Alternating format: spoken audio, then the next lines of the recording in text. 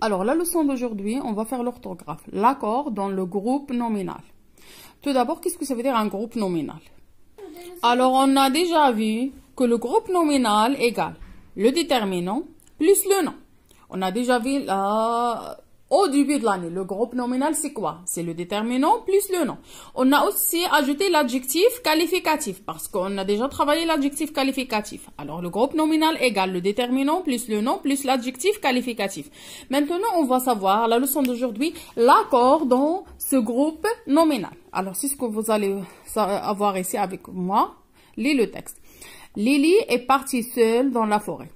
Et brusquement, il se trouve nez à nez avec un loup un loup gris avec des yeux injectés de sang, de grandes dents pointues, pareilles à des poignards, et une langue humide qui prend, qui pend de sa gueule.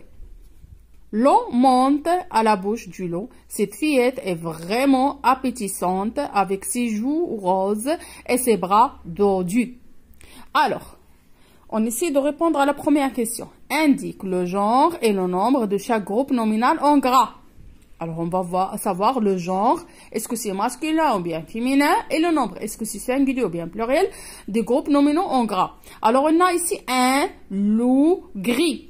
Alors, un loup gris, c'est masculin ou bien féminin? Bien sûr, c'est le masculin. Singulier ou bien pluriel? Bien sûr, c'est le singulier. Comment vous savez? Parce qu'on a le déterminant un.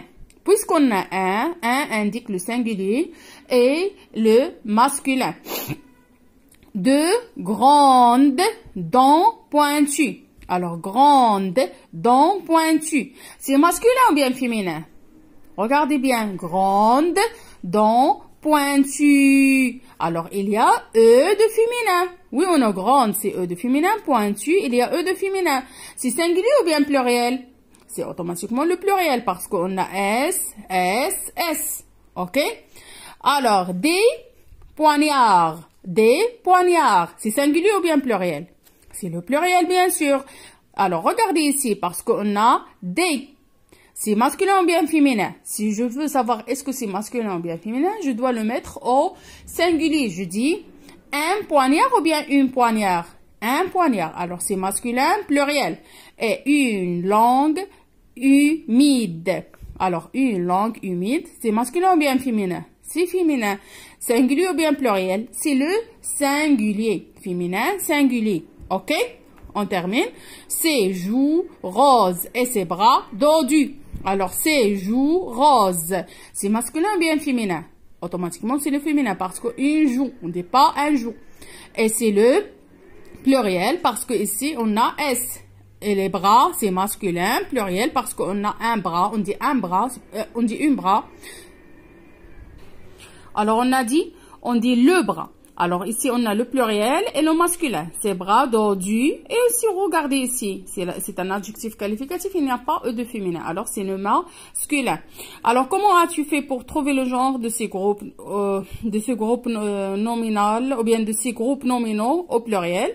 Parce qu'il y a la lettre S au pluriel, on sait le pluriel, c'est la lettre, la marque du pluriel, c'est la lettre S. Alors, on essaie de, de trouver le nom et l'adjectif. Ici, comme il demande dans la question numéro 2. Trouve le nom et l'adjectif dans chaque groupe nominal.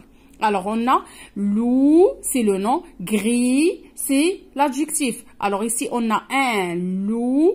Alors, c'est le masculin. Gris aussi, il doit être au masculin. Je ne peux pas dire un loup grise. OK? Parce que si le nom, est au masculin, l'adjectif aussi doit être au masculin. Deux, grande dents pointues. Alors, grande, c'est l'adjectif. Dent, c'est le nom. Pointu aussi, c'est l'adjectif. Alors, regardez ici.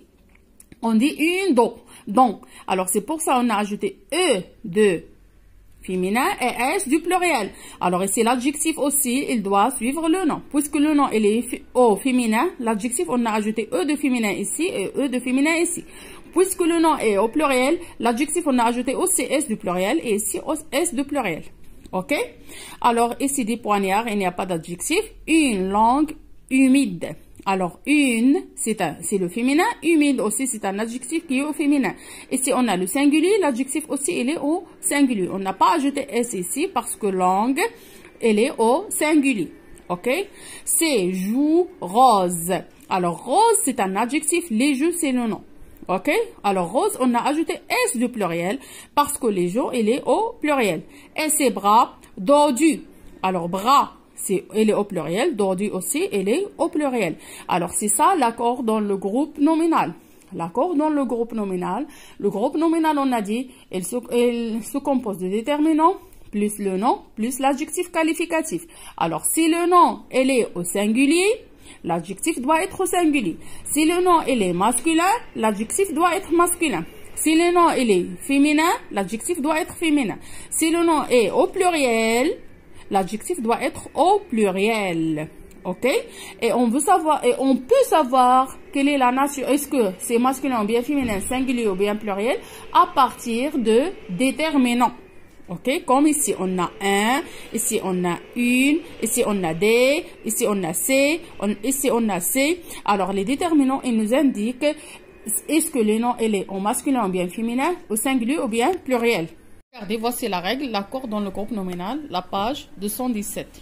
Alors, la règle 19.